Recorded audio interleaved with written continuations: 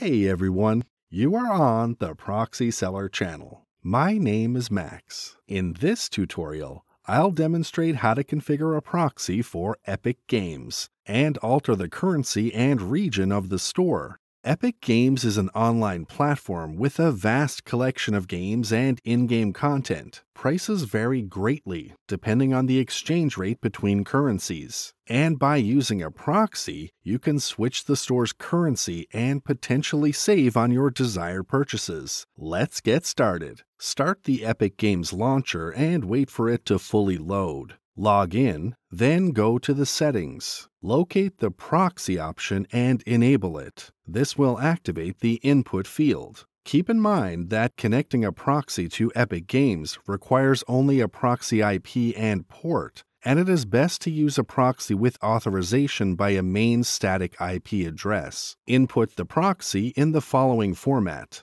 IP colon port. Then restart the launcher. To change the store's currency, go to the Account section. Locate the Country option and select the country that matches the proxy server. Then apply the change. After restarting the launcher, the store's currency will be updated. I also want to remind you that working with free proxies is not safe, does not guarantee anonymity, and will lead to blocking. To remain anonymous on the network and be sure of your security, it is recommended to purchase a private proxy, and there is an advanced proxy provider, proxyseller.com. You get 100% anonymity on the network and security, a performance guarantee for the chosen purpose, and 24 7 customer support service. The link will be in the description. Don't forget to subscribe to the channel, turn on the notifications by clicking on the bell,